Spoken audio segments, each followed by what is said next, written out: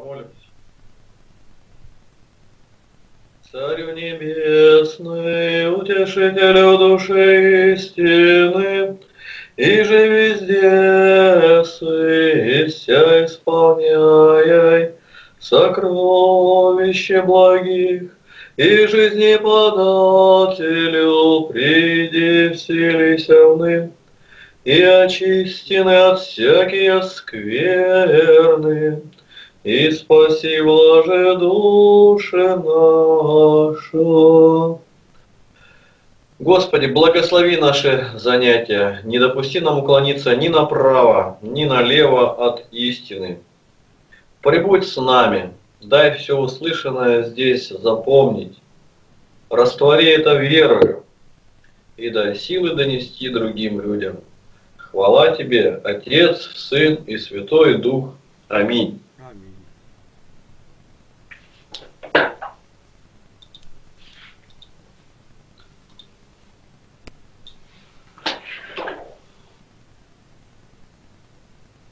Во имя Отца и Сына и Святого Духа. Аминь.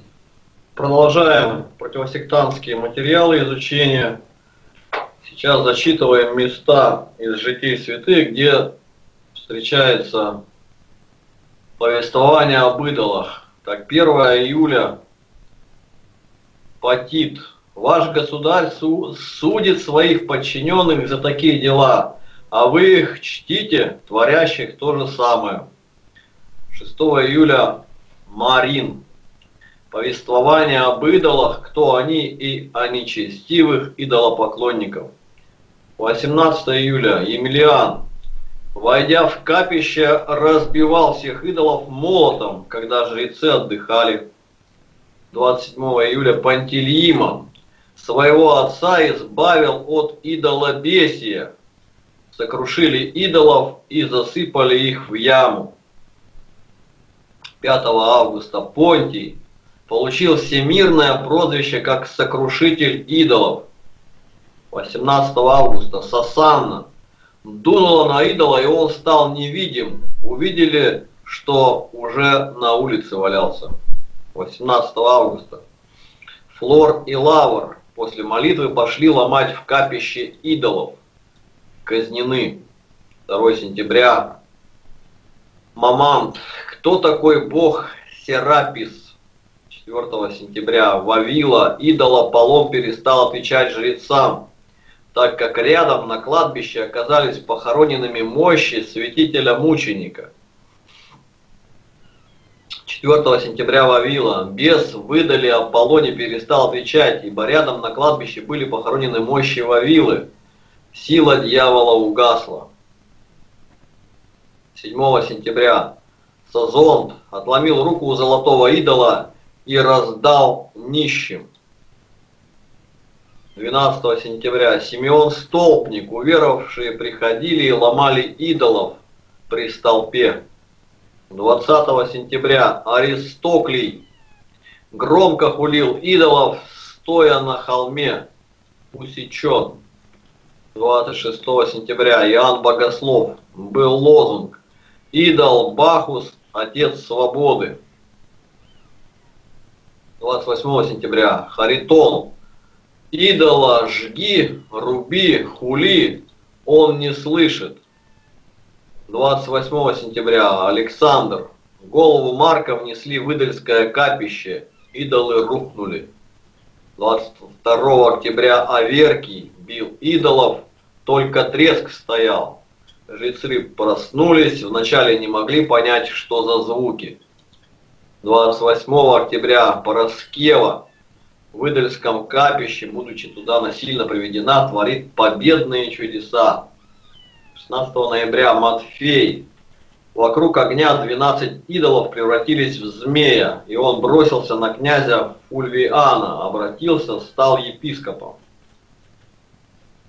19 ноября Иосаф.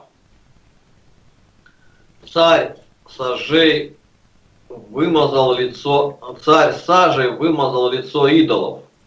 Идолы превратились в воду.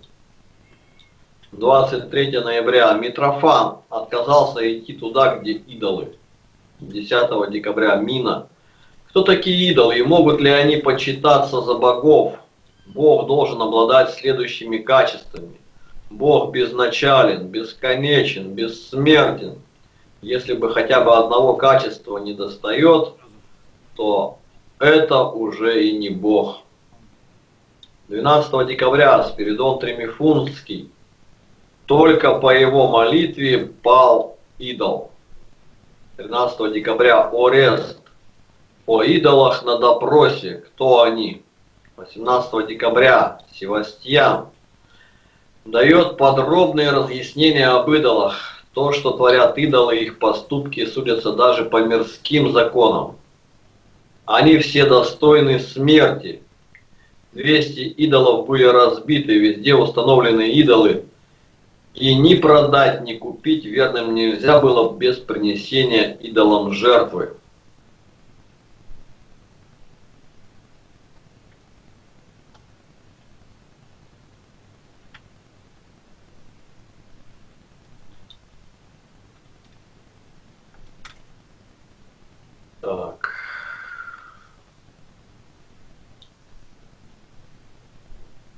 20 декабря Игнатий Богоносец. Идолы – это бесы. Ныне спало с них покрывало лжи. Итак, вот то, что касается идолов. Теперь слово иконы, об, об, об иконах, что говорится в житиях святых, узнаем. Память 1 января Василий Великий молился перед иконами Богородицы и святого Меркурия. В это время в ставке Юлиана Отступника появился неизвестный воин и копьем поразил отступника вниз живота. Он откинулся на руки оруженосца и, захватив густок крови под доспехами, кинул ею в небо, прохрипел ты победил, галилеянин. Во все это время киот иконы был пуст. Теперь же появилось изображение святого Меркурия, из копья его капала кровь. Память 14 января Нина. В Грузию привезли иконы. 19 февраля Досифей, рассматривая картину страшного суда, обратился – 12 марта Феофан, он говорил царю, «Познай, царь, на иконах та же история, что и в книгах, только она в красках». 17 марта Алексий, Божий человек, Пономарю икона сказала, «Веди в церковь человека Божия». 23 марта Никон, уст иконы Божьей Матери голубь вылетел. 24 марта Иаков Исповедник, Страдать за икону это равносильно тому, как страдать за Христа. Память 1 апреля. Мария Египетская. К иконе Богородицы. Будь поручительница, не оскверню тело. 17 апреля Засима обратился к образу Спасителя как к живому. 21 апреля. И на Януарий. Иконы мученика не умершего. 22 апреля Феодор Сикиот болен, две капли росы пали с иконы Спасителя на него, и он выздоровел. 23 апреля Георгий Победоносец в икону Сарацин стрелял, ранен, обратился. 3 мая Феодосия, князю был страшный голос от иконы – что обещал, то отдай. 11 мая Кирилл, икону его написали. 29 мая Феодулия, доказательство необходимости иметь иконы. Воин лез к инокам, пал, умер. Воин лез к иконам, пал, умер. 14 июня Мефодий. Поражение в войне за, за непочитание икон. Иконоборцы же истолковали свое поражение иначе. Мы потерпели поражение потому, что среди нас были почитатели икон. 17 июня. Шалва. Погибло 10 тысяч на реке Куре, когда заставляли плевать на иконы и поклониться исламу. 19 июля Иоанн Отшельник имел образ Богородицы с младенцем. 8 июля Проклий, ой, простите, Прокопий, крест сделан, появились на кресте изображения. 9 июля Панкратий, первый век, вышли на встречу с крестом и двумя иконами. 9 августа и Улиан, тогда стражник был на высокой лестнице, снимая изображение медное над воротами, ведущими в город. Лестницу опрокинули православные, и воин погиб. Было казнено немало людей. 17 августа Алипий. На иконе свет и голубь из уст излетел. Ангел за три часа икону нарисовал. 21 августа Авгарь, князь Эдесский, послал ко Христу иконописца, а получил нерукотворный плат.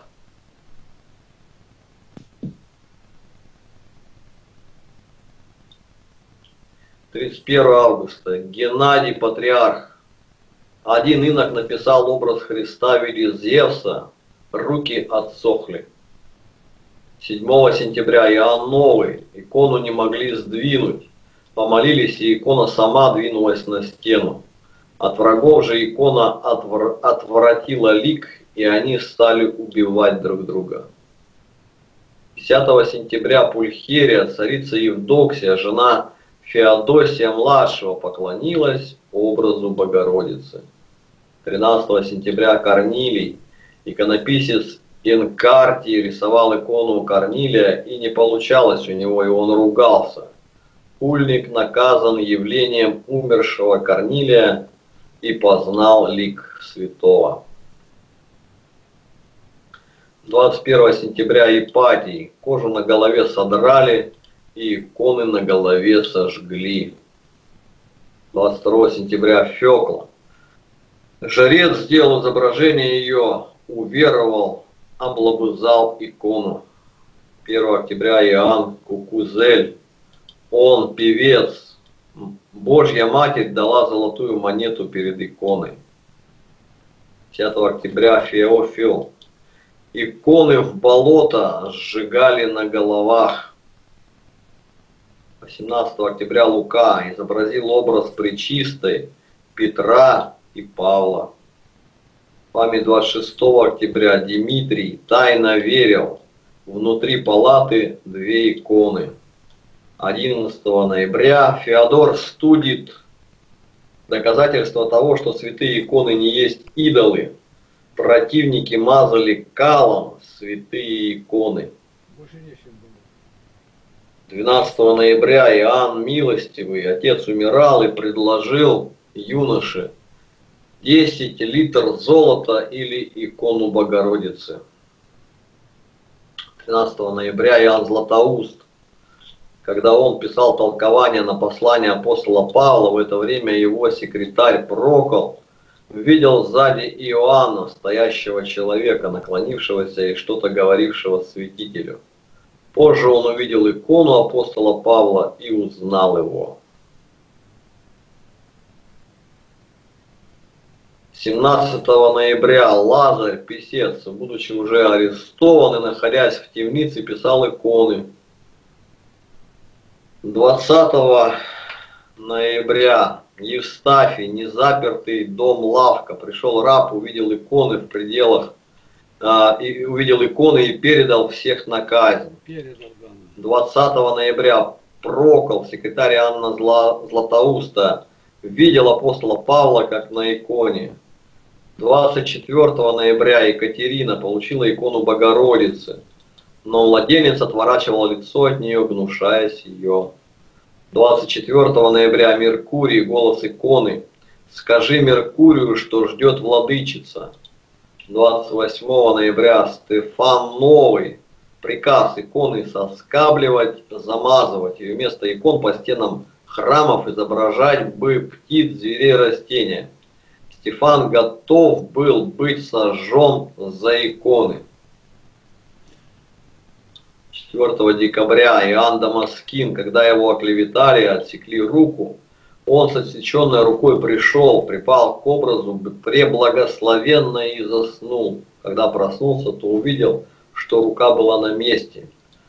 Только красная полоска напоминала место отсечения. Сделал подобие руки из серебра и повесил знак благодарности перед иконой Божьей Матери. Икона Троеручица. 6 декабря Николай Чудотворец, чудо с иконой и патриархом, который не чтил Николая Угодника. 15 декабря Мелиферий собрал много изображений. 19 декабря Стефан их исповедник, царь, лев и саврянин повелел поднимать иконы выше от пола на стенах, чтобы люди не впали в идолопоклонство. 19 декабря Григорий Америцкий, диспут с евреями, и без ковчега мог Ноя спасти иконы. 23 декабря Нифон, икона Богородицы улыбнулась ему. 27 декабря Феодор, лев армянин был убит там, где был попираем образ Спасителя в алтаре. И 29 декабря Фаддей, насильно ставили ногами на икону, но смело отвечал «Целую икону». Вопросы, может, у кого-то возникли по прочитанному? Дополнение? Игнат Тихонович, есть слово? Али нету? Или, или все уже сказали?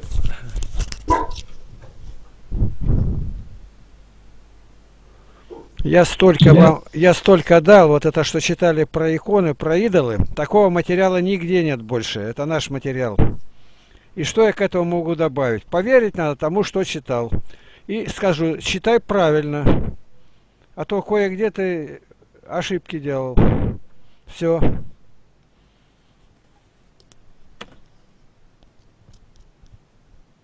У меня есть вопрос. Давай. Вот такой фильм есть, сняли недавно. Называется, кажется, «Молчание». Там про миссионеров католических в Японии. Там, значит, христиан сильно преследовали и э, заставляли отрекаться от веры. Таким вот образом они ложили икону, по-моему, Спасителя на землю. И если он наступал на икону ногой своей, значит, все уже, отрекся от, Хри от Христа и оставляли в живых. Вообще, можно такое действие считать за отречением за креста, если тебя заставляют наступить просто листать на икону ногами. Ну, допустим, это есть такой фильм про католических монахов в Японии, как они были. Там тоже так же заставляли. А нет, их сразу казнили, там привязывали в море, поднимался уровень моря, прилив, и они задыхались. Ну так и понимали, мы сейчас прочитали, в Грузии было, убили 10 тысяч человек. Так что через э, река Кура можно было переходить по трупам без моста. И только одна девочка, которая была здесь, последняя это, стала на колени, поцеловала ее. Конечно, и участь ее та же самая была. Это 10 тысяч, никто не наступил. Значит, они смотрели именно так. Почему? У нас в деревне был один мальчишка, Сережа. Я говорю, а за что тебя посадили-то? Да что-то выпили, с товарищем не поладили. Я, он на меня полез, а я, говорит, его ударил. Ну, стали драться, а рядом висело изображение Сталина. Но они его тут с места-то сдвинули, он упал, а я на нем топтался. На выражении. Коммунисты так понимали. Вот Солженицын написывает, пришла там жена важного начальника коммуниста, а она говорит, ну как берут это, булавочки такие, ну как иголки, только с ушком большим, э, пар, портняшка-то, и она не глядя в газетку воткнула, а там был портрет Кагановича, в глаз попало и 10 лет дали. Значит, коммунисты тоже смотрели. А возьми, вот когда Микояна стрелял, стреляли это в, при, ну, сына Сталина, это Василий об этом написано. Он говорит, стреляли-то не было там, ну, с какой-то стороны подвернулся портрет, и его сразу за забрали, кое-кое-как его отбили. Это, это действительность, реальность такая. Значит, и нам тоже если икона потеряла э, лик свой, там э, краски нету, или не написано, или плохо, просто сжигается. Я как-то был в Осинниках, кажется. И вот мы оттуда выехали с Михаилом Кальмаевым. Ну и стали смотреть там, какие иконы-то. А у которой были Нина Филонова, у ней икон много. Я стенки снимал, ей подавал. Около ста икон, которые признали мы, что они не действительны. И мы их сожгли, и все, когда готовили ужин. Это ничего мы не сделали, а как? Мы помолились сначала, прости Господи, а там не поймешь, что и написано. Так надо смотреть, иконы ли, видно ли, ну и какая нужда в этом. А когда прямо заставляют, тут явно, что надо знать, какую меру. Ну ладно, ты наступил, дальше что? А теперь скажи, что я проклинаю тебя на Христа. Они на этом-то не остановятся. Я не могу топтать того, кто умер за меня, посчитать. Я почитаю его и в образах, и в словах о нем. Вот так и отвечали они. Все. Можно, да? да? Мне понравилось, как один царь, вот это в конце ты, Сергей, читал, что запретил, повыше повесить, это указал, чтобы идолопоклонства не было. Вот бы сейчас такое указание дал патриарх Кирилл. А то настоящее идолопоклонство у нас в церквях. Ну вот это император Лев. И они его... Микрофон. Император Лев. А они его считают еретиком. Ну, может быть, еретик, он был из-за икон только. И они его убили. И кто? Православные. И не где-то в алтаре. Он защищался крестом, схватил, потому что э, людям с царским достоинством разрешалось ходить в алтарь. За православными тоже числится кое-что. Это считалось очень хорошо, удачно, потому что э, телохранитель не мог войти в алтарь. И они все это расписали. Ну и где-то там под престолом или где скрылись, а потом выскочили, давай его рубить. И зарубили в алтаре. Вот так. Спаси нас и помилуй, Господи.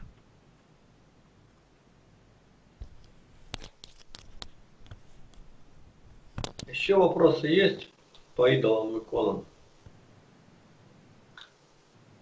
Да. Продолжим. О святом кресте и крестном знамении. Евангелие от Иоанна 12.32. Когда я вознесен буду от земли, всех привлеку к себе. Иоанна 3,14. И как Моисей вознес змею в пустыне, так должно быть вознесено быть Сыну Человеческому. Галатам 6,14. А я не желаю хвалиться разве только крестом Господа нашего Иисуса Христа, которым для меня мир распят, и я для мира. 1 Коринфянам, 1 глава, 18 стих. Ибо слово о кресте для погибающих юродство есть, а для нас, спасаемых, сила Божия. Для своих знамений и чудес, для откровения своей божественной воли, для помощи и спасения людей Господь часто употребляет обыкновенные предметы – иногда даже презираемые людьми. Например, в Ветхом Завете при выходе евреев из Египта Моисей жезлом разделял море, и евреи переходят среди вод по суше. Читаем в книге Исход, 14 глава, 15-16 стихи. «И сказал Господь Моисею, что ты вопиешь ко мне, скажи сынам Израилевым, чтобы они шли, а ты подними жезл твой и порастри руку твою на море, и раздели его, и пройдут сыны Израилева среди моря по суше. Жезлом в пустыне изводит из скалы воду. Об этом читаем исход 17 глава с 1 по 8. И двинулось все общество сынов Израилев из пустыни Син в путь свой по повелению Господню. И расположилось станом в Рефимиде, в Рефидиме. И не было воды пить народу. И укорял народ Моисея, и говорили, дайте нам воды пить. И сказал им Моисей, что вы укоряете меня, что искушаете Господа. И жаждал там народ воды, и роптал народ Моисея, говоря, Зачем ты вывел нас из Египта? Уморишь жажды у нас и детей наших, и стада наши. Моисей возопил Господу и сказал, что мне делать с народом сим? Еще немного и побьют меня камнями. И сказал Господь Моисею, пройди перед народом и возьми с собой некоторых из старейшин израильских и жезл твой. Вот опять о жезле. Которым ты ударил по воде. Возьми в руку твою и пойди в бот. Я стану пред тобой там на скале в Хариве, и ты ударишь скалу, и пойдет из нее вода, и будет пить народ. И сделал так Моисей в глазах старейшин израильских. И нарек место тому имя Масса и Мерива по причине укорения сынов Израилевых, и потому что они искушали Господа, говоря, есть ли Господь среди нас или нет. Еще позже открывает свою волю Бог среди сделанных руками людей изображений двух херувимов – исход 25, 18, 22, через которых совершает великие чудеса, разделяет воды Иордан, разрушает стены Иерихона, сокрушает идолов, наказывает людей, благословляет благочестивого Авидара Гефянина. И в Новом Завете Господь подает свою милость людям не только через возложение своих рук – или рук своих учеников, через свою их одежду, или через помазание Илеем, но даже через тень апостола Петра и через брение и плюновение. Приняв образ раба, Христос спасает людей посредством бывшего прежде у людей позорного предмета, посредством креста, убив вражду на нем – пролитую кровью своей за грехи всего мира.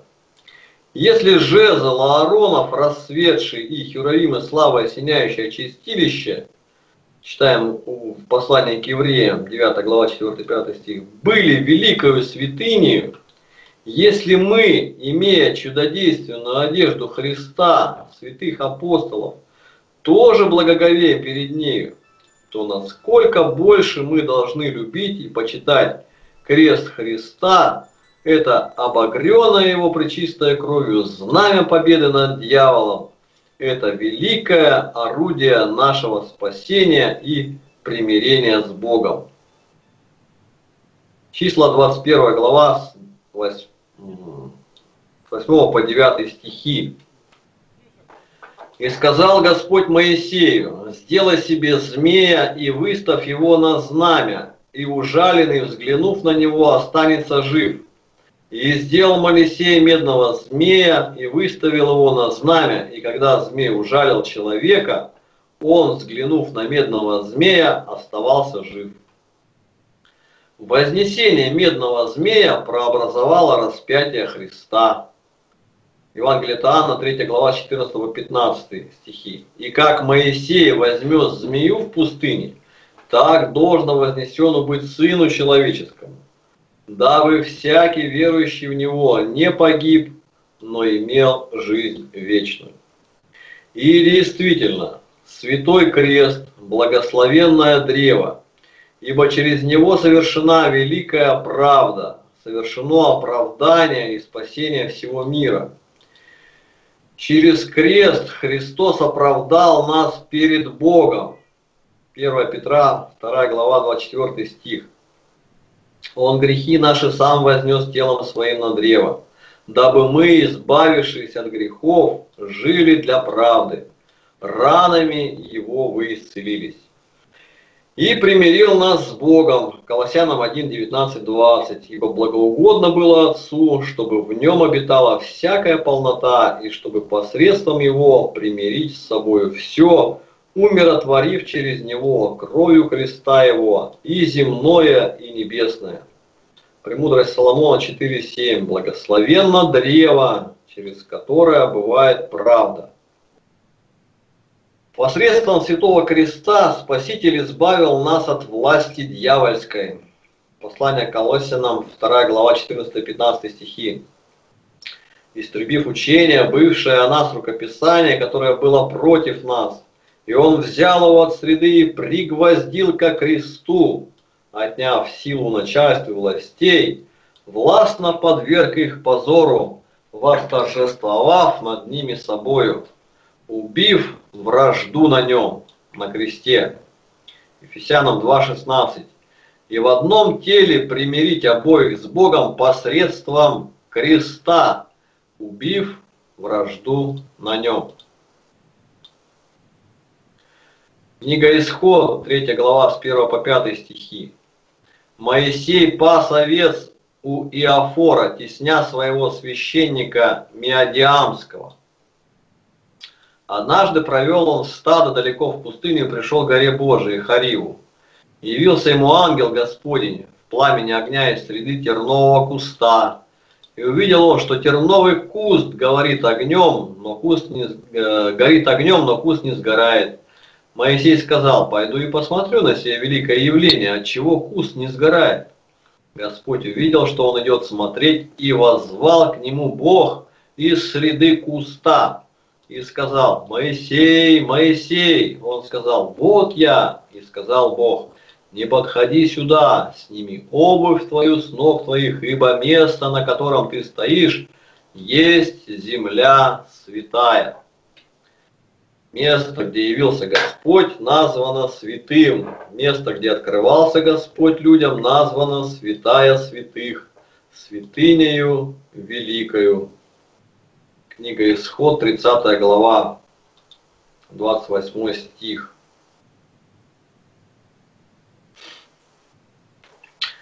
И ветхозаветний жертвенник, на котором приносились кровавые жертвы животных, не уничтожавшие грехи, и все принадлежности его, жертвенника, были святынею великою. Книга Исход, 30 глава, 28-29 стихи. И Матфея, 23 глава, 21 стихи.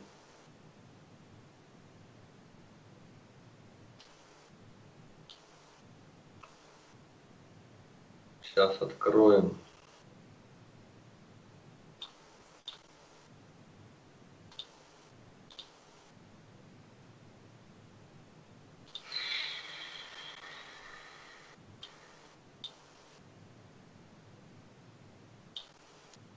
И клянущийся храмом клянется им и живущим в нем. Вот такое местописание тут предлагается. Так что все прикасающееся к ним освещалось, то несравненно более великая нас освещающая святыня, крест Христа, на котором заклан Спаситель мира, принесший себя в жертву, чтобы подъять грехи многих,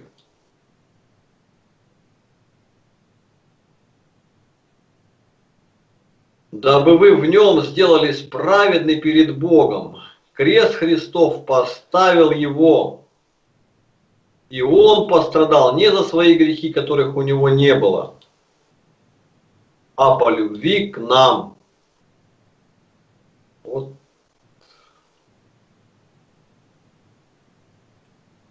Евреям 9.28. Так и Христос, однажды приснеся себя в жертву, чтобы подъять грехи многих, во второй раз явится не для очищения греха, а для ожидающих его во спасение. 2 Коринфянам 5.21. «Ибо не знавшего греха Он сделал для нас жертву за грех, чтобы мы в нем сделались праведны перед Богом». Крест Христов прославил его. Евангелие от Иоанна, 17 глава, 1 и 5 стихи. После сих слов Иисус возвел очи свои на небо и сказал, Отче, пришел час, прославь Сына Твоего, да и Сын Твой прославит Тебя. И ныне прославь меня Ты, Отче, у Тебя самого славу, которую я имел у Тебя прежде бытия мира. Евангелие от Луки 24-26. Не так ли надлежало пострадать Христу и войти в славу свою? Филиппийцам 2 глава 8-9 стихи смирил себя, быв послушным даже до смерти и смерти крестной. Посему и Бог превознес его и дал ему имя выше всякого имени. И он пострадал не за свои грехи, которых у него не было, а по любви к нам. 1 Петра, 2 глава, 22 стихи. Он не сделал никакого греха, и не было лести в устах его. А то, что по любви к нам, вот место 1 Иоанна, 4 глава, 9-10 стих. Любовь Божия к нам открылась в том, что Бог послал в мир единородного Сына Своего, чтобы мы получили жизнь через Него. В том любовь, что не мы возлюбили Бога, но Он возлюбил нас и послал Сына Своего в умилостивление за грехи наши. Поэтому апостол Павел ничем не хотел хвалиться, разве только крестом Господа нашего Иисуса Христа.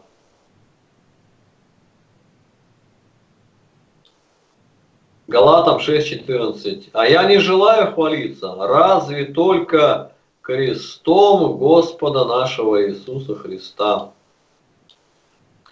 которым для меня мир распят, и я для мира. Поэтому и христиане первых веков были гонимы за крест Христов. Галатам 6.12. Желающие хвалиться по плоти принуждает вас обрезываться только для того, чтобы не быть гонимыми за крест Христов. И только погибающие враги креста Христова не почитает его за святыню, пуская ту мысль, что пострадав телом на кресте, Христос принял на себя грехи всего мира. И вот о врагах креста Христова послании филиппийцам, в 3 главе, 18 стих говорится, «Ибо многие, о которых я часто говорил вам, теперь даже со слезами говорю, поступают как враги креста Христова». Все ветхозаветные люди должны были исполнить весь закон. Галатам 5.3 и не исполняя его, были постоянными должниками перед Богом, ибо написано, проклят всяк, кто не исполняет постоянно того, что написано в книге закона. Но Христос заплатил Богу долги кровью Своей, пролитую на кресте, где было уничтожено, истреблено, исполнившимся учением Христа о себе как Мессии, Спасителя мира – бывшее против нас рукописание, то есть весь обрядовый ветхозаветный писанный закон, всегда служивший доказательством грехов людей, не могших исполнить всех его предписаний. Теперь, благодаря крестным страданиям Христа, мы уже не под законом, но под благодатью. Римлянам 6.14. Грех не должен над вами господствовать, ибо вы не под законом, но под благодатью. Если же понимать по-сектантски, то получится кощунство и богохульство. Ибо если грехами осквернен крест, то осквернено и тело его, и учение его, ибо сказано, что он грехи вознес телом своим и истребил их учением своим. Не место греху там, где пребывал Сын Божий. Не могут оставаться грехи на кресте, а мы там причистой кровью Христа. И приведенные сектантами слова нужно понимать в том смысле, что, крест, что Христос крестною смертью уничтожил все наши грехи, освободив нас от убивающей буквы ветхозаветного закона. Епископ Феофан Толкование на послание к Колоссянам. 1892 год, страница 123. Вопросы по прочитанному, пожалуйста.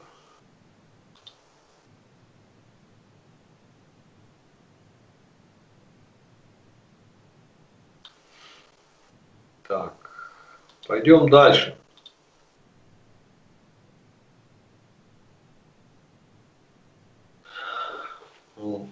разберем вот сектантские мудрования по свете Библии. Значит, мудрование первое, ложное. Сектанты утверждают, что всякий крест есть виселица, следовательно, крест, на котором был повешен Христос, проклят. Ну, известно, что они нательные кресты не носят, вот именно вот ссылаясь на вот это место Писания, Второзакония, книга 21 глава, 22-23 стихи. Если в ком найдется преступление достойного смерти, он будет умерщвлен, и ты повесишь его на древе, то тело его не должно ночевать на древе, но погреби его в тот же день, ибо проклят пред Богом всякий повешенный на древе, и не оскверняй земли своей, которую Господь Бог твой дает тебе в удел. И Галатам 3.13. Христос искупил нас от клятвы закона, сделавший за, за нас клятвою, ибо написано, проклят всякий висящий на древе. Премудрость Соломона 14.18. К усилению же почитания и от незнающих поощряла чаяние художника. Что должен на это мудрование отвечать православный? Виталий, будешь читать?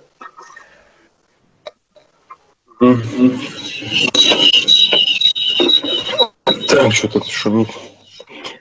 Приводимые места из Второзакония и послания Галатам ясно говорят, что проклято не древо, а тот, кто висит на, древе, на дереве, то есть Христос, сделался за нас клятвою. Всякий крест называется проклятым потому только, что на нем висел преступник. То есть так считать было бы так же бессмысленно, как сваливать вину в убийстве не на самого убийцу, но на предмет, который, которым он совершил преступление. Тем, тем более нельзя и нелепо именовать проклятым Святой Крест, когда на нем висел не преступник, а безгрешный Спаситель мира. А место из «Премудрости Соломона» говорит не о кресте, а об идолах, которых называют богами, а крест никто не называл Богом. Наше поклонение, говорится на Седьмом Вселенском соборе, относится к распятому Христу, а не просто к дереву. Дерево может быть проклятым или благословенным. Предыдущий стих «Премудрость, «Премудрости Соломона», 14 глава, 7 стих. «Благословенно дерево, через которое бывает правда, но и в ковчег, через который пришла правда.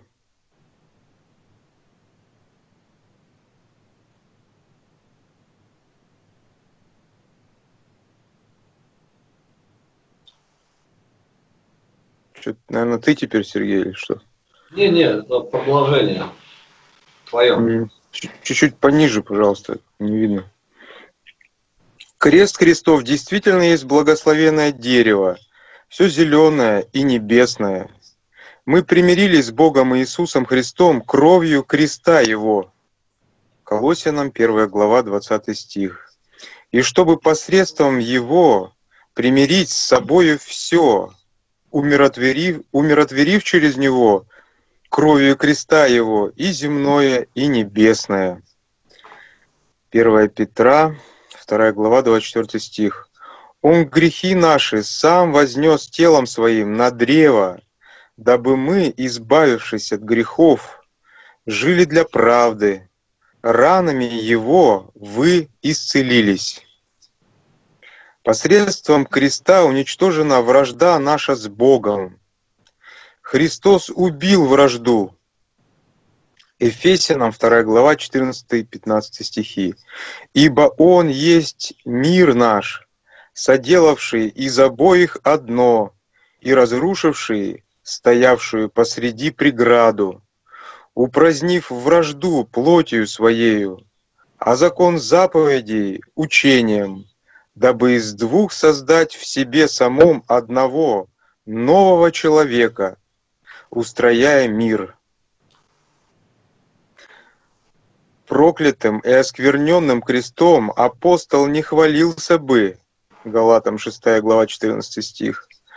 А я не желаю хвалиться, разве только крестом Господа нашего Иисуса Христа, которым для меня мир распят, и я для мира. Великий грех называть крест оскверненным, когда на нем совершилось спасение, что говорит и сам Христос. Иоанн 3 глава 14 стих. «И как Моисей вознес змею в пустыне, так должно вознесену быть Сыну Человеческому». Числа 21 глава 8-9. «И сказал Господь Моисею, сделай себе змея и выставь его на знамя, и ужаленный, взглянув на него, останется жив». И сделал Моисей медного змея и выставил, выставил его на знамя. И когда змей ужалил человека, он, взглянув на медного змея, оставался жив. В нем про прообразовал собою распятого Христа. Знамя его — честный крест. Премудрый Соломона 16.7. Ибо обращавшийся исцелялся не тем, на что взирал, но тобою, Спасителем всех. Уже ли нельзя было прогнать змеиний, нельзя было истребить, нельзя было исцелить словом?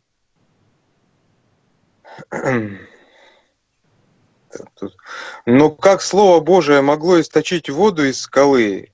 Скала же не ранее повиновалась, чем увидела знак креста, так и здесь оно могло, оно могло, оно могло прогнать бы змей, но змеи не раньше были укращены, чем увидели образ креста, умертвившего жало демонов. Святить, святитель Иоанн Златоуст. Знамя Христово, знамение или крест Христов явится на небе при кончине мира. Матфея, 24, глава, 30 стих. Тогда явится знамение Сына Человеческого на небе, и тогда восплачутся все племена земные, и увидят Сына Человеческого, грядущего на облаках небесных, силою и славою великою. Восплачутся тогда все племена и враги креста Христова, но будет уже поздно. Вопросы?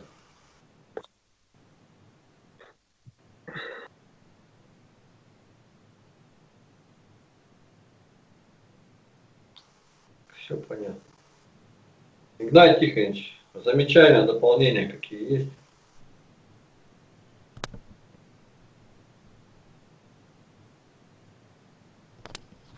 Нет замечаний-то. Надо просто носить крест, уважать его, почитать и читать молитву честному животворящему кресту. Вы знаете его? Да воскреснет Бог, да расточатся враги его. Да. Вот все.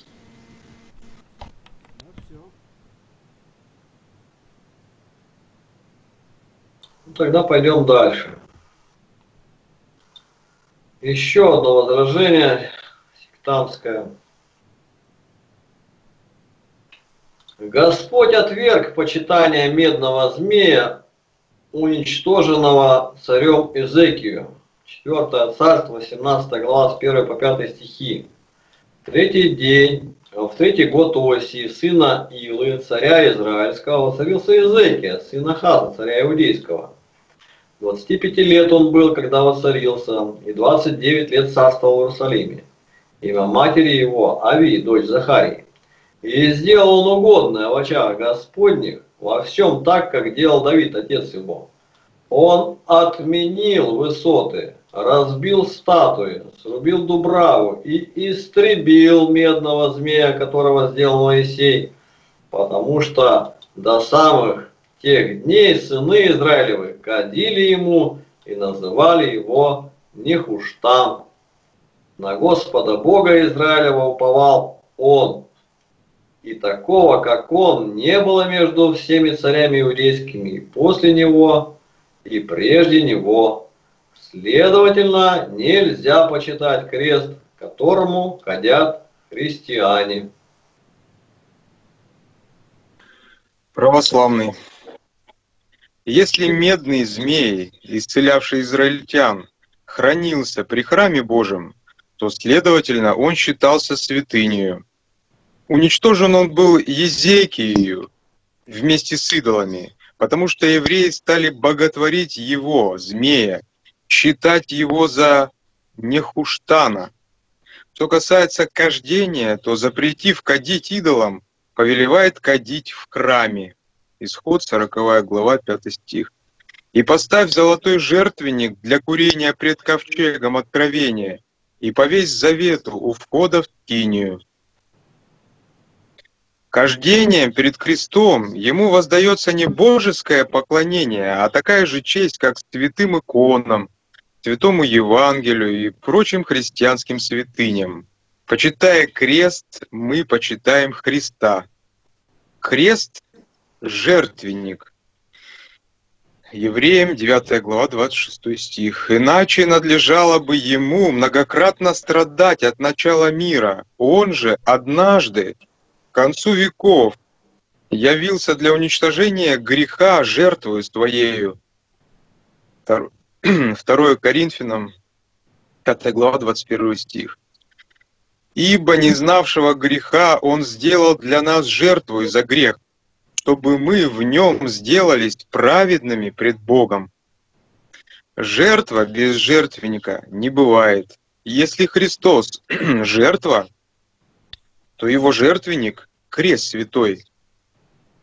Если ветхозаветный жертвенник — святыня великая, и все прикасавшиеся к жертвеннику освящались, исход 29.37, «Семь дней очищай жертвенник и освети его, и будет жертвенник святыня великая.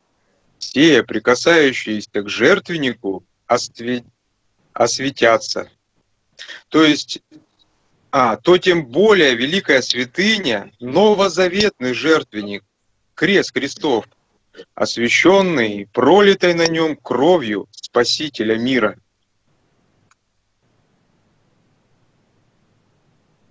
Вопросы?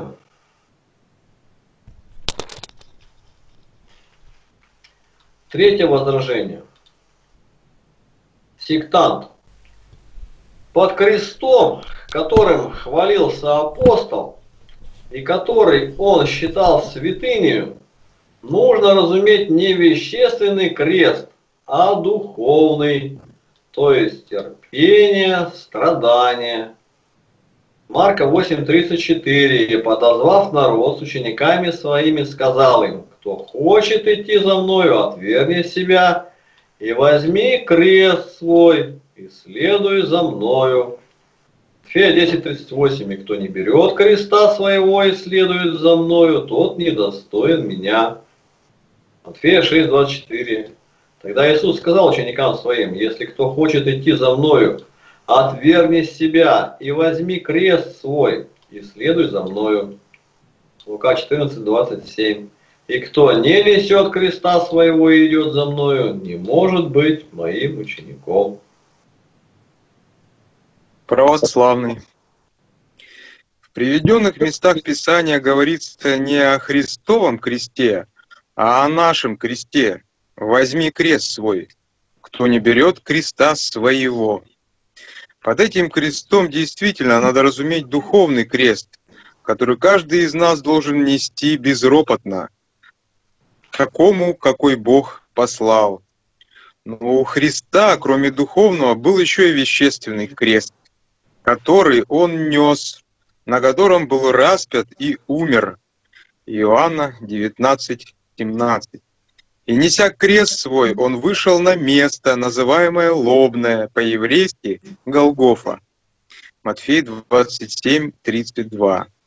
Выходя, они встретили одного кириньянина по имени Стимона. Его заставили нести крест его. Марка 15, 21. И заставили проходящего некого кириньянина Симона, отца Александрова и Руфова, идущего с поля, нести крест его. Иоанна 19 глава, 25 стих. При кресте Иисуса стояли матерь его и сестра матери его, Мария Клеопова и Мария Магдалина. Марка 15, 30 спасти себя самого и сойди со креста. Этим вещественным крестом хвалился апостол Павел, а не одними его страданиями. Колосинам, 1 глава, 20 стих. И чтобы посредством его примирить с собою все, умиротворив через него кровью креста его, и земное, и небесное. Ибо духовный крест не может иметь никакой крови. Нужно рассуждать от Писания, а не от своих мыслей. Убедил. Так, вопросы по этому возражению. То есть, крест не только духовный, но и вещественный. Ну и духовный тоже. Итак, четвертое возражение. Крест – это тот же эшафот, виселица. Можно ли чествовать плаху, на которой умер дорогой мне человек? Могу ли я почитать дерево, которым убит брат или отец? Православный. Сравнение креста Христова с виселицей или другими орудиями смерти совершенно неудачно – если бы моего брата убили или повесили за его преступление, то тогда орудие смерти было бы для меня противно, потому что напоминало бы мне о тяжком позоре всей моей семьи. Но если бы враги повесили, убили за правду, я бы считал те предметы дорогими для меня, принесшими убитому и семье вместе с горем и славу. Крест Христов принес Спасителю не позор, а великую славу. Иоанн 17, 4. После сих слов Иисус возвел очи свои на небо и сказал, «Отче, пришел час, прославь Сына Твоего, да и Сын Твой прославит Тебя». Лука, 24 глава, 26 стих. «Не так ли надлежало пострадать Христу и войти в славу свою?» Сравнивать кощунственно крест, святой крест безгрешного креста с виселицей преступника – это может делать только человек неверующий и не умеющий отличать священное от несвященного и чистое от нечистого. Левитам, 10 глава, 10 стих. Убедил. Вопросы?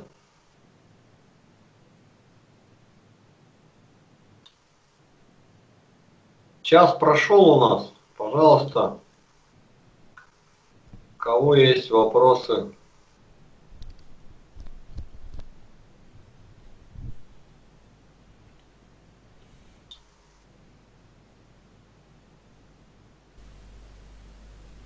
Задавайте.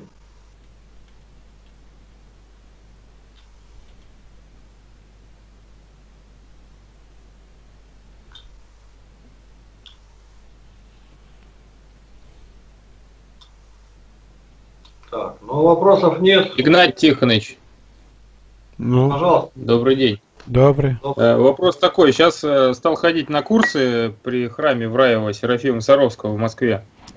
И там нам читали лекцию про миссионерство. Вот. Доводилось ли вам ознакомиться с концепцией миссионерской деятельности? Она, оказывается, была опубликована в 2007 году на сайте Патриархии. И если доводилось, то что вы думаете об этом? А если не доводилось, может быть, имеет смысл посмотреть, куда призывают людей. Вот. Просто я даже не мог представить, что в 2007 году что-то такое приняли. Оказывается, приняли. И учебник нам посоветовали по миссионерской деятельности. Миссиология называется. Вот эти слова придумаем миссиологии. Я много читал про это. Все выдумка, ничего этого нет. Тут только благодать Духа Святого делает. Миссионеров практически нету. Есть там единицы где-то. Вот это миссионерские отделы, это обман сатаны. Не человека, а сатаны. Почему? Да Бог так делает. Он посылает только два человека. И притом посылает как? Благословения. Возложили руки на них. 12 пошли подвое. Еще 70 апостолов избрал Господь, малые апостолы. Тоже по два, по 30, 35 отделов. Все. Кирилл и Мефодий идут двое, Моисей и Аарон двое. Они ничего не понимают, пишут об этом. Они могут создавать певческие какие-то отделы. Все это можно делать. Благовестнички, а миссионерские нельзя издать. Это труд Духа Святого. Господь полагает на сердце говорить или не говорить, куда идти, что. Вот о чем Иоанн Златоуст говорит. Чтобы душу обратить, это задача миссионера, нужны тысячи талантов. Не одна тысяча. А чтобы крестить, ни одного таланта не надо. Достаточно быть рукоположенным священником и по книжечке прочитать слова нужные. Все. Вот и ответ. Я читал, где я вижу, это говорят люди, дельцы от религии, они ничего не понимают совершенно. Ходят на улицу, приводят в храм, приди в храм, посмотри. Тут, если ты миссионер, ты наоборот будешь говорить, что не ходи в храм пока, пока не укрепишься. Что он там умеет? Толкучку, торговлю, серебролюбие. Бог Меркурий летает по храму, у него крылышки на ногах. Бог Меркурий торговли. Что тут можно на это сказать? Миссиология, что за слово такое? Так это наука целая, и никого нету. Вот Смирнов Дмитрий говорит, я крестил, крестил 20 лет, говорит, оглянулся, и никого нету. И действительно, если женский пол, говорит, на вторую букву алфавита тянет, а мужчины, наркоманы, пьяницы и прочее, все православные. Бог делает это. Молитва. Вымоли у Бога. Какое твое место? Вот Иеремия был благовестник и миссионер. Эту миссионерскую работу, когда человек делает, он совершенно забывает о самом себе. А у них целые отделы, ходят, записываются, миссионеров нашли. Это вы ученики Дворкина. Самые такие осатанелые. Все везде друг на друга натравливают. Миссия – это труд Духа Святого. Вот весь ответ. Ну, а, а вопрос тогда, просто на самом деле то, что они рассказывали, это просто там то же самое, например, то, что я от вас слышал, там классификация людей, как с кем разговаривать, какие там произведения искусства привлекать для проповеди. Как нам совместить тогда, ну, обычным православным, э, то есть обучение именно тому, как людям благовествовать? Вот э, где брать данные? Я понял. Это о благовестии речь идет, не о миссии. Миссия это совершенно нечеловеческое дело. Это только благодать Духа Святого делает. Тебе, может, проповедовать надо один час будет, а 10 часов надо на молитве пробыть. Примерно вот такой рацион. Они этого не знают. Они ожесточенные, злобные такие. Миссионера по всему видно. Это люди, не, не говорится, не мира сего. Куда Бог пошлет, он не рассуждает. А патриарх Кирилл говорит, я сказал монаху, говорит, вот туда надо, там где в Анадырь ехать, на север. Он говорит, я не могу. Там сильно холодно, говорит, мне воздуха не хватает. А я говорю ему, какого воздуха тебе не хватает? Ты же отрекся от всего. Вот весь ответ. Патриарх Кирилл наткнулся. Вот мы как-то в машине вместе ездили до нашего сегодняшнего митрополита Сергия был здесь епископ Максим, а до него первый епископ на Алтае был Масендич Антоний. Ну, мы были близкие очень, ездили. Он говорит, у меня нет ни одного миссионера. Он сам это понимал. Он у меня дома приходил, а обедали на наших, говорится, пастбищах. Миссионера ни одного нету, а священников сотни. Ну и покажите, какой миссионер, где? Конкретно. Теоретически, да. А практически, когда встречаешься, и ничего нету. Их нельзя подготовить. Он доверяется Богу, и Бог избирает и посылает. А почему именно его? А вот это уже Богу вопрос задавать. Почему именно его? Он его избрал, и у него нетерпение пойти. Кто пойдет? Исаия выскочил. Я! У тебя уста нечистые. И дальше начинается лечение амбулаторная. Мысли очистить. Я его насчитал, я его считаю за священномученика Даниила Сысоева. Но когда он проповедовал, где говорил, как он разговаривал с какими людьми, со старообрядцами, я вижу, он никакой не миссионер совершенно. Даже грамма нету. Вот посчитайте, как он беседует с мусульманами, со старообрядцами, где. И дальше прогулка или путешествие по храму. Ну что ты можешь показать в храме? Человек, который не утвержден, ты его только закрепишь в этом. Выдало посчитание. Иконы-то он и не видит, он как идолопоклонник будет. Вот то, что я могу на эту тему сказать. Бывает так, человека к тебе привели, прямо привели в дом. Я ни одного слова ему не могу сказать. А почему? Не могу я ответить. Совершенно не знаю. А другой, он явно, что непригожий совсем товар. А ему сразу начинаешь говорить. Почему Иоанн Златоуст говорит, деяния апостолов, правильно было бы назвать эту книгу, деяния Святого Духа. Вот он это понимал. Деяния Святого Духа. Ну не Дворкин же этим будет заниматься. Я знаю, которые выступают там, э, священники-то, я даже называть не могу их. Я сейчас назову их имена, просто скажу, что они не понимают. Одно слово, не понимают. Они знают про Маяковского, про Есенина, все знают. Они сейчас же озлятся, на меня бросятся. А на мне живого места нету. Мои награды. Где рано, там награда. Вот любого сейчас только назову, он уже к утру у меня будет здесь сидеть. А вы про меня сказали. Вот обращаются к этому коллегу Стеняеву.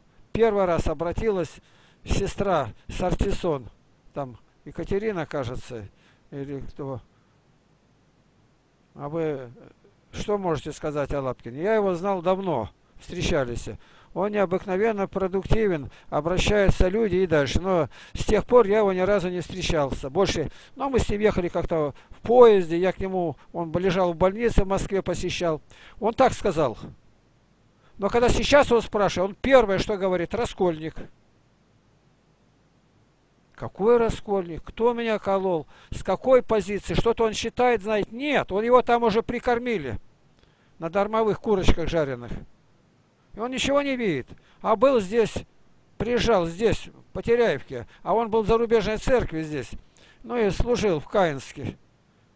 И вот, дескать, у нас тут один храм только был Покрова Божьей Матери. Он сейчас кафедральный собор. И он, ну давайте отобьем этот храм вам. Отобьем. Как? Я знаю как. То есть, что нужно делать, там, видимо, какую провокацию сделать. И я говорю, ты еще в уме или нет-то? Вот он такой был. А потом раз переметнулся уже в патриархии, и он там патриархийный все знает. Но среди вот худших он лучший. Он Библию в руках держит. И все у него смешки какие-то. Как он был в Индии, все хохочет весь зал. Да где вы видели, чтобы проповедь миссионера вызывала смех? Он повергает на колени в слезы. А он говорит, вот как из Чечни там ехали, остановили. И кто такой, это подделка. Один посмотрел, видел, видел, говорит, на меня морда красная, говорит, пьяный. О, это настоящий поп, пропустите. И весь зал хохочет. Какой он хороший. Пьяный, красная морда. Да еще пузо колесом миссионеры. Вот Кагановича как-то сказали, а вот такие-то там Гайдар и другие, сейчас новые пошли руководители. Я не свои слова говорю. Он говорит, ему говорят, это новые руководители народа. А он на это что, что ответил?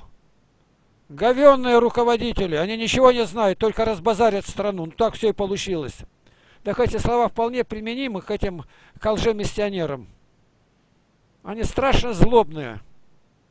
Я могу их называть там вот, вот Стувы там один есть, Новосибирске тут выступает, за икону спрятался и оттуда, как говорится, шнырь болотный.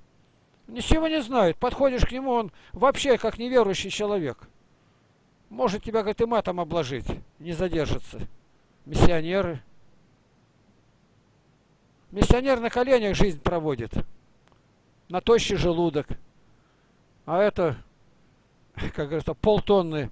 Что он может сказать? Ему килограмм 60 надо только пузо сбросить. Ни стыда, ничего. Перед людьми вываливает такую мамону. Явно, что это не подвижник, никто. Где ты видел? А все люди-то понимают, разожрался, харя-то какая у него. Вот и весь ответ. Миссионеры. Миссионер это полное отречение от самого себя. Это дух открывает. У меня откровения на каждом шагу могут быть. Говорить, не говорить, это нельзя научить этому. Это показывается, какое место стих какой открыть. Только и всего. А они-то не это показывают, мимики, жесты. Я по-другому не могу ответить, потому что у меня 55 лет стажу на этой работе. Это труд Божий. Труд не знающий, где день начинается, где ночь. Вот и все. Игнатий Тихонович, у меня вот такой вопрос. Вы же знаете отца Артемия Бондаренко, вы с ним знакомы, Конечно, общались и да. переписывали. Да. Так вот, он сюда, в Германию, был направлен как миссионер. У него статус миссионера. Мы, у нас статус поздние переселенцы, он миссионер. Он, но он организовал четыре прихода здесь, в Германии у нас, в том числе и наш. Так вот, э, считать его миссионером или организатором приходов? А организатор приходов. Он никакой не миссионер, он рядом не стоял с миссией.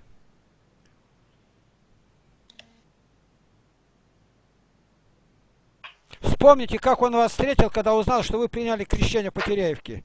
Что он с вами делал? Да, помню. Это не дело миссионера так себя вести. Да миссионер, он вообще об этом даже не подумает. Он м, год около тебя будет, и все не будет знать, сказать или не сказать тебе, чтобы тебя не оттолкнуть. А этот, а посмотри, как заходят-то люди-то, какие женщины и крашеные в брюках как угодно могут быть. Они этого не видят ничего. Главное, чтобы доход-приход был.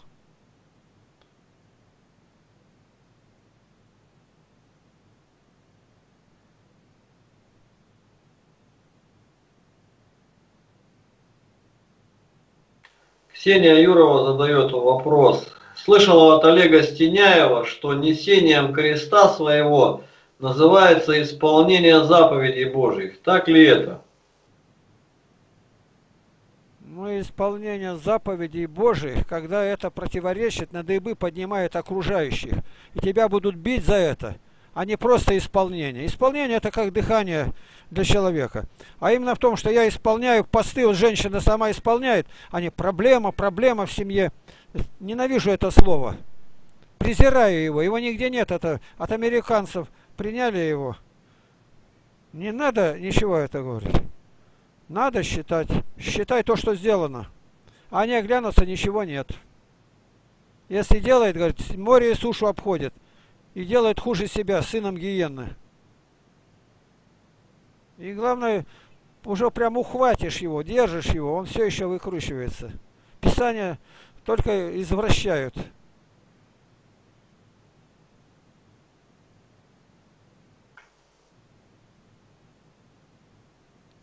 То есть соблюдение заповедей, Ну никак не крест. Какой же это крест? Крест это да, она не Крест- заповеди мои не тяжкие. Крест это страдание, когда тебя за что-то гонят. Крест.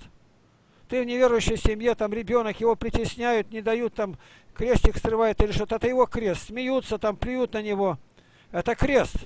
Вот как смотрим фильм «Школа». Шко- класс там есть. Ну, издевались над ребятишками. А они пришли двое, вооружились и перестреляли весь класс. Это документальная основа в Эстонии была. Можете посмотреть, это фильм «Класс» называется. Одним словом. Как называется? Класс, класс. Очень хороший. Сейчас продление этого фильма, после когда закончился фильм, и какие последствия, какие там суды пошли, они прямо оттуда берут. Все.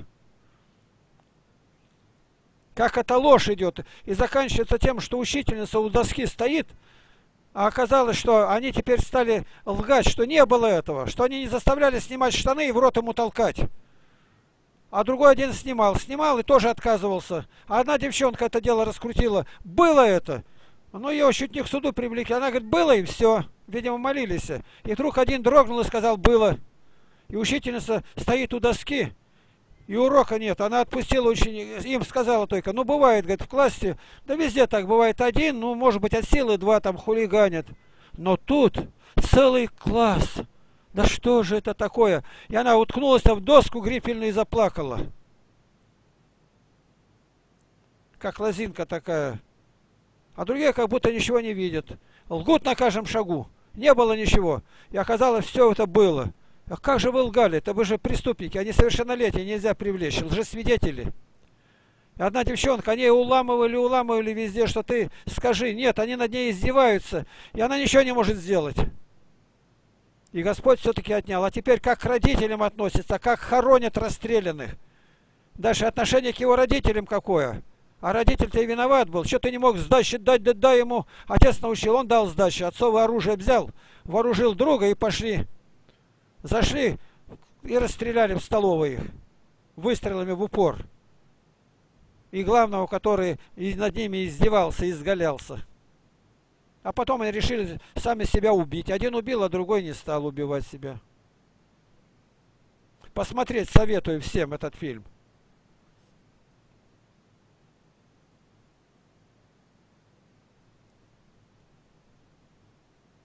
Еще есть фильм «Триумф». Триумф, как школа, который класс абсолютно невозможно было с ним. И как один человек награды получал, все как учитель. Говорит, а что, у меня все тут хорошо. Я поеду в Нью-Йорк. Поехал, и там самый такой класс ему дали. Он стоит, а в него кидают там около доски, и как он все прибрал к рукам. Как Господь это сделал. Вот это работа миссионера. Крест, поношение, побои насмешки, издевательства. Это его крест. А эти нигде не были, они этого не знают. Они знают и не верят. Когда я рассказываю, как у меня было в тюрьме, сколько человек молились, которые отступали от всякого греха, которых я не приглашал даже. Ночами молитва была. А как это было? Не знаю я, это Бог делает, еще раз повторяю. Я разговаривал с теми, кто сидел там по 9 лет, как отец Глеб Якунин. Саша Огородников, Зоя Александровна Крахмальникова. Ни у кого этого не было. Они даже не слышали и не верят. А почему? А Григорий Низкий сказал, люди верят только в то, что сами могут сотворить. А это нельзя сотворить. Что-то можно, а миссионерскую работу нельзя сотворить. Она нам не принадлежит, она не земное деяние. Повторяем, благовестнический отдел, да. Они могут создать, говорить, выступать на трибуне, а миссионерский нельзя создать. Это уподобление Христу во всем.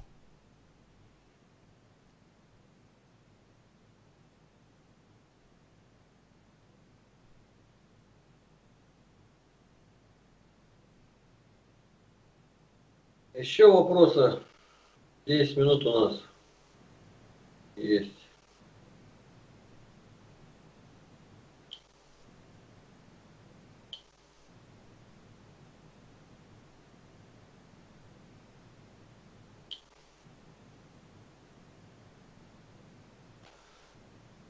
Что-то в интернете говорят, что 14 декабря Украина пойдет войной на Донбасс. Что там, Никит, ничего не слышно в Украине-то? А у меня был отец Павел сегодня Ермоленко из Каменаби. И он там какая-то женщина, адмирал, что-то сказала. И вот 3 января Китай пойдет на Россию. Я говорю, а если не пойдет? Пойдет. Я говорю, ну если не пойдет, ты какой-то придумай кару себе, язык подрезать или шилом проткни его. У меня одна очень хорошая женщина была знакома, она сновидением все видела. Нет, это не, не община такая, она помогала нам всегда в лагере. Ну, ее сильно обижали, там контейнера идут с товарами, об, обкрадут, она предприниматель. На нее покушение сколько было, и Господь спас ее. Мы за нее молились и молимся. И вот она говорит, я видела во сне, вот то-то, то-то на покушение будет на Путина, его убьют, его застрелят это. А сама попала под поезд, и ее раздавило, она умерла. А Путин как жил, так и живет. Она говорила, это зимой обязательно будет. Я говорю, не надо это говорить. У нее все время болела голова. Эти предсказатели, они больные люди.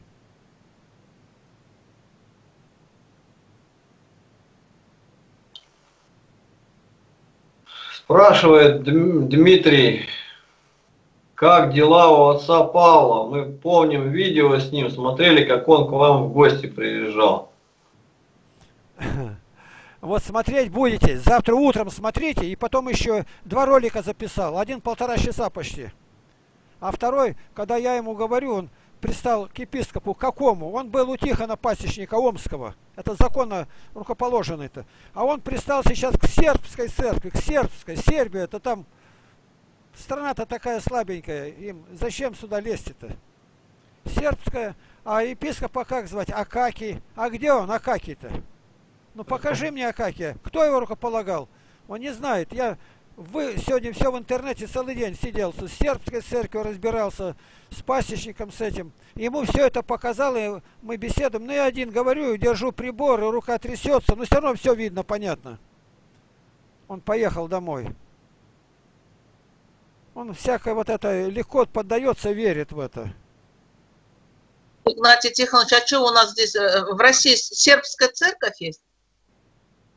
Ну, конечно, если он находится здесь. Не церковь, он на дому молится. Где он епископ там? Ничего не знаю. Только Стерлигова спрашивать надо.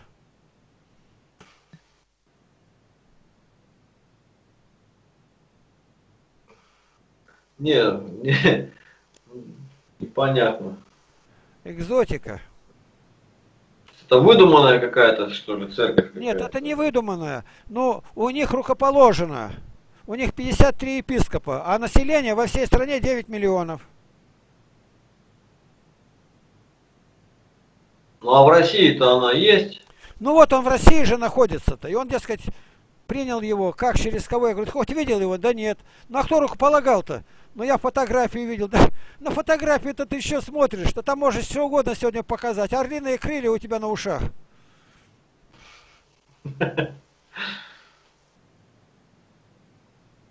Ну как ребенок.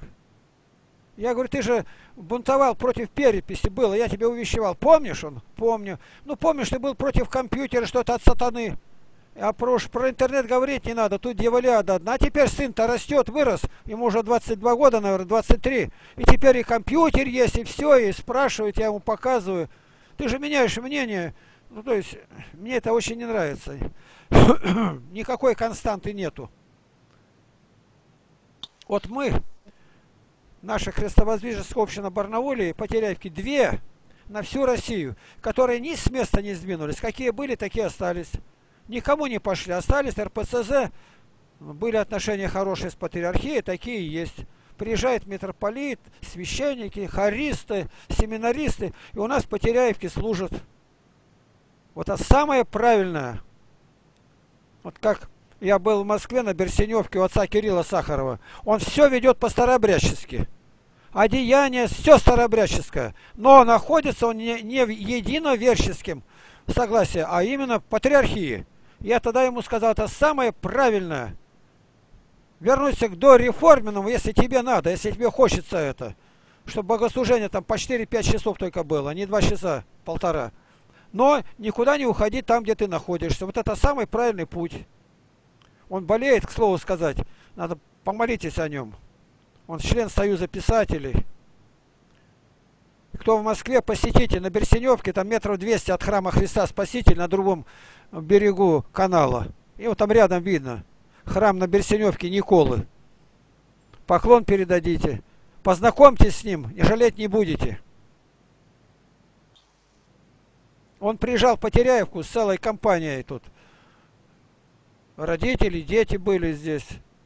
Я к нему всегда заезжаю, он меня там сразу стихарь одевает, и я в храме говорю, где он там служит, и в другом месте проповеди.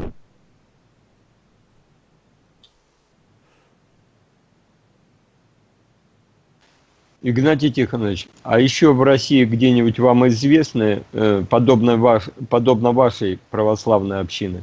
Думаю, нет никаких, все перешли, иначе было бы известно. Нету. Кто перешел э, к Комскому архиепископу Тихону Пасечнику, как Афангелу, митрополит Пашковский на Украине, где-то в Одессе. Вот я знаю, приезжает Антоний, митрополит Антоний Орлов, ну, он а, в Америке, приезжает сюда где-то. Никого нету. На 13 разных юрисдикций разбились. А мы не с места никуда. Нас они давили, а, обзывали, еще только не делали. А сейчас все установилось. А мы никуда. Просто молимся и все. И они приезжают к нам, и Максим, этот приезжал, Дмитриев перед этим был, а этот вообще родной отец.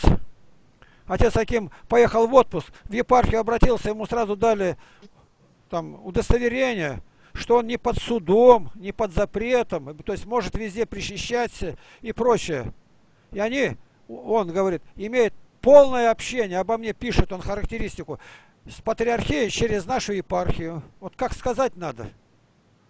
И он рядом здесь, и тут исследует. И у меня, у Игнатия Тихоновича, не выявлено ни канонических, ни догматических нарушений. А который знать не знает, он трепет языком, безбожник. В священнической форме. Злодеи. Миссионерский отдел руководит, а сам злобный, говорит, как хорек в клетке.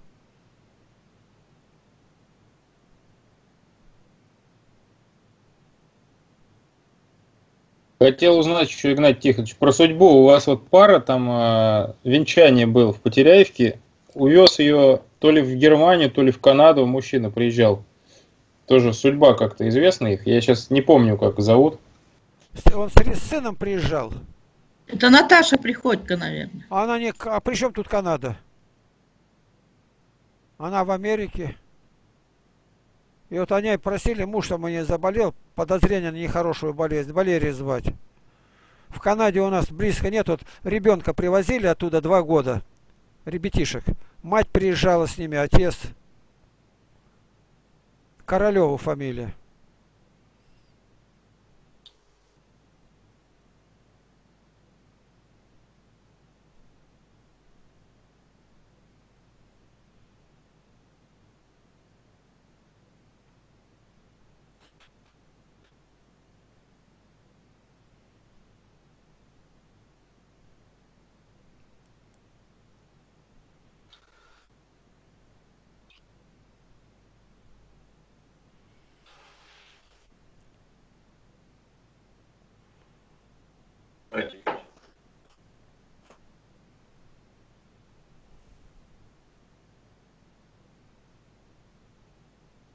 Что-то антракт молчания надолго затянулся.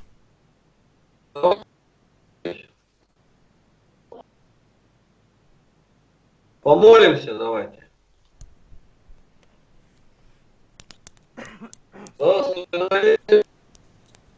Ублажите Тебя, Богородицу, пресноблаженную и пренепорочную, и Матерь Бога нашего, честнейшую Херувим, и славнейшую без сравнения Серафим, без истления Бога Слова родшую, сущую Богородицу Тебя величаем. Молитесь, Игнатий. Любящий наш Отец Небесный, мы предстали перед Твоим величием и просим Тебя во имя Господа нашего Иисуса Христа, прими наши молитвы. Благодарим за этот вечер, за эти святые слова, которые мы слышим из святого Слова Твоего, из святой Библии. Воздай вечности добром тем, кто перевел на русский язык. Хвала Тебе, наш Господь. Услыши нашу молитву. И избери миссионеров, и пошли их на труд христианам, язычникам, мусульманам и буддистам. И научи нас видеть нуждающихся в нашей помощи таким людям – Тебе, Господи, хвала, Тебе честь и поклонение за все. Отец, Сын и Святой Дух. Аминь. Аминь. Аминь. Спаси Христос. Спаси Христос.